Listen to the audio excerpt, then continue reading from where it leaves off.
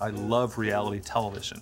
Things happen on reality television that you would never in a million years write yourself. You put a million Hollywood screenwriters in an office, they'll never come up with some of the things that happen on reality television.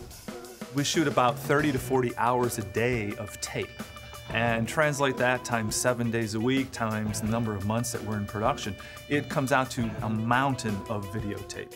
And one of the challenges facing us is the pressure to finish quicker. The amount of time for post-production is decreasing. With our system, with Final Cut and Xsan, we're now able to put more editors on board, multiple editors, all able to access the media, to edit it. It was a big change in how we approach things. Looking forward to the future, I felt that Final Cut was better positioned to how do I say this, wade through the confusion of the high def transition. The frame rates, the interlace, the progressive, all that sort of thing. You know, it's crazy. And I felt that Final Cut Pro was better suited to handle that confusion than some of the other solutions that were out there.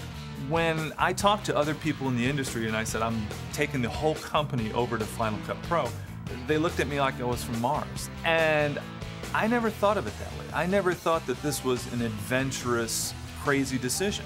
I knew that Final Cut Pro was ready for prime time. For Bunim Murray, for reality television, for what we're doing, Final Cut Pro and Xsan has been wonderful.